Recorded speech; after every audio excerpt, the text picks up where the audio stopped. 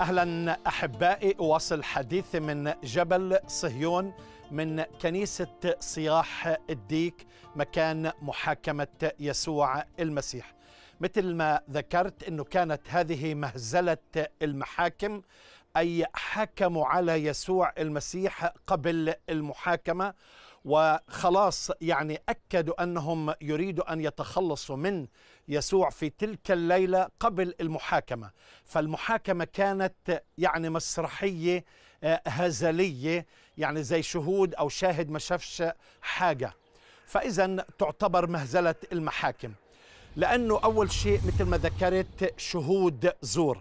لم تعطى فرصة ليسوع المسيح أن يستجوب الشهود. وكانت الشهادات كلها متناقضة.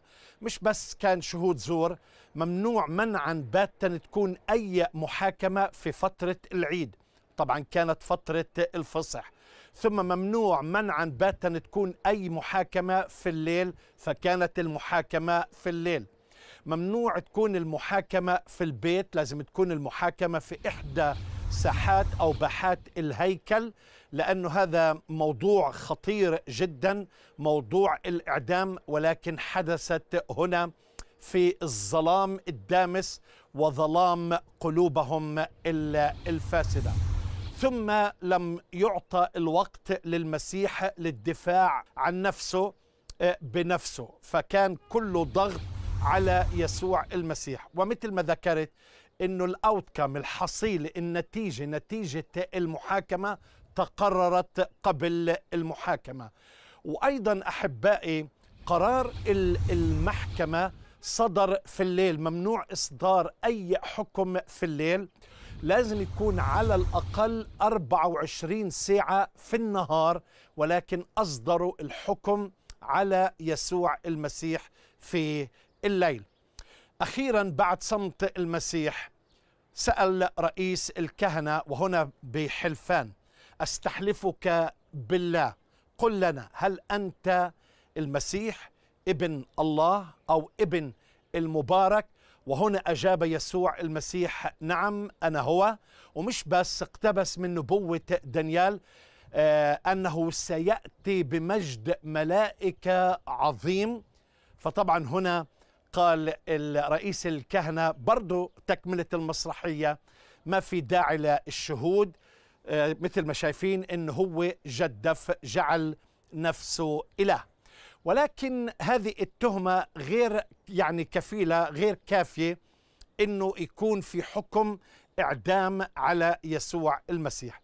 فهنا أحبائي في هذا البيت وين الكنيسة مبنية كان في أمر حدث إنه بينما يحاكم يسوع.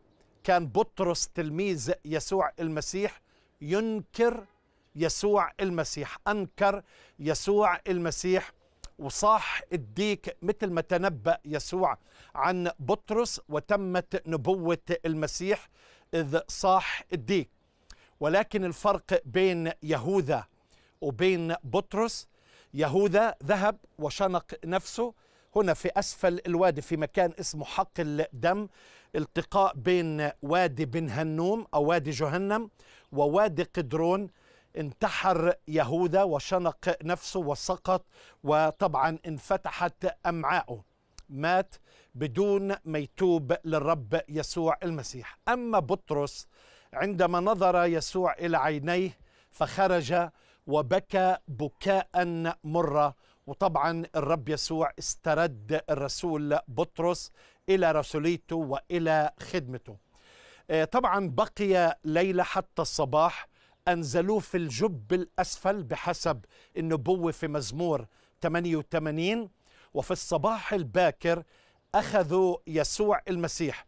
من هذا المكان من جبل صهيون سيرا إلى منطقة مثل ما شايفين وين؟ أسوار أورشليم المسجد الأقصى. بعد المسجد كان منطقة الهيكل في هناك قلعة تسمى قلعة أنطونيا للمحاكمة المدنية أو المحاكمة السياسية أمام بيلاطس